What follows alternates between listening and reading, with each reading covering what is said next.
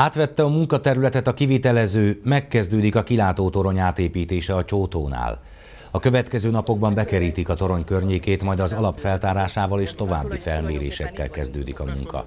Ezután indulhat csak a szükséges alkatrészek gyártása, az átépítés látványosabb szakasza nyárra várható.